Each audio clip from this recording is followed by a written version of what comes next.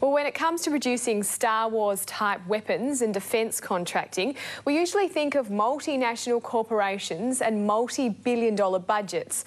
But as John Mort discovered, there's a small but talented outfit right here in Perth that's giving players a run for their money and doing it from a shed out in the suburbs.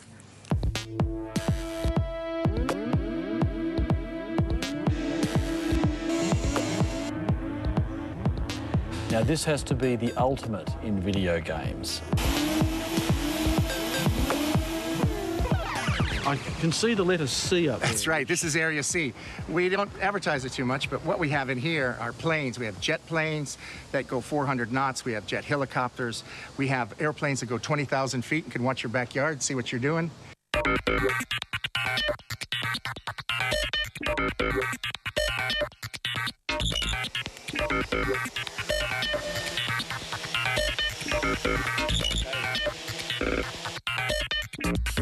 What's happening here will absolutely blow your mind.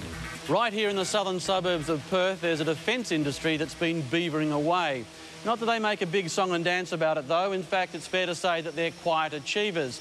But the top brass from our military know exactly what's happening here, and so do armies from other countries, and they're all beating a path to the door. Whoa, Tiger!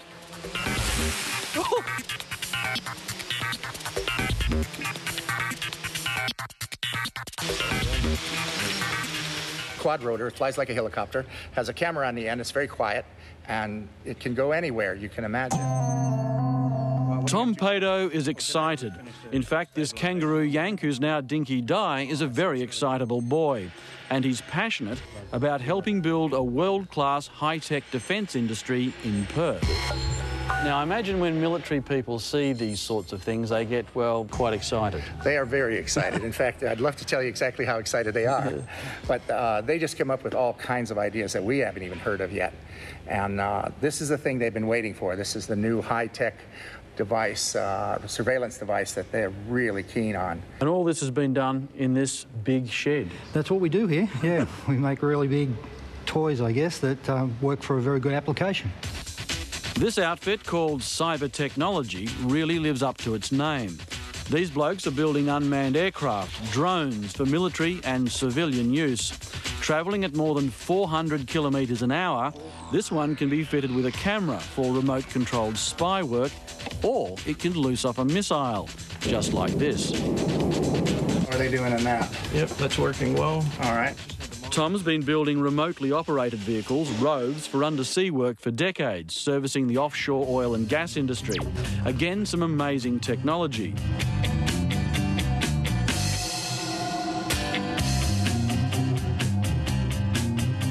And nearly all of it designed and built by Tom's team of engineers and, well, nerds, I guess. This here is an underwater robot that goes down to 3,000 meters. And in doing that, it works on oil fields, assembles them. It uses uh, these robot arms. And that's, um, that looks eerily familiar. If it is eerily familiar, it is because uh, an arm exactly like this was inside the uh, Jurassic Park movie, inside one of the Raptors. And if you can uh, see when it moves around and that, it has a very human-like quality. It sure does.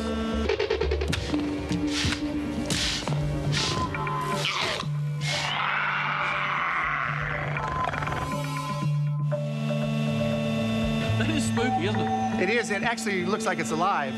The reason it looks like it's alive is because all the functions work at the same time. And so really all the people who were producing Jurassic Park had to do was to put a, A rubber, over the top of it. a rubber coating on the top, with the eyes in that, and then this went and did the job. Wow.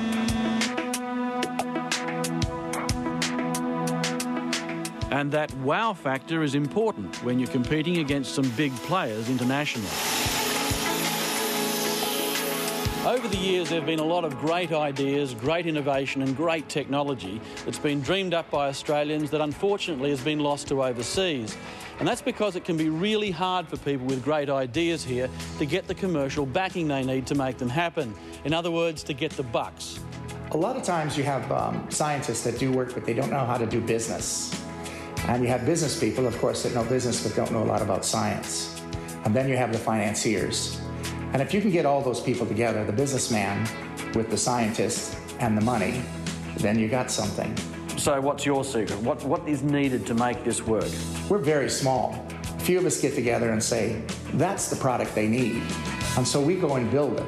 And then we call them in. We say, what do you think of this? And they go, so that's what we've been looking for. How did you know that?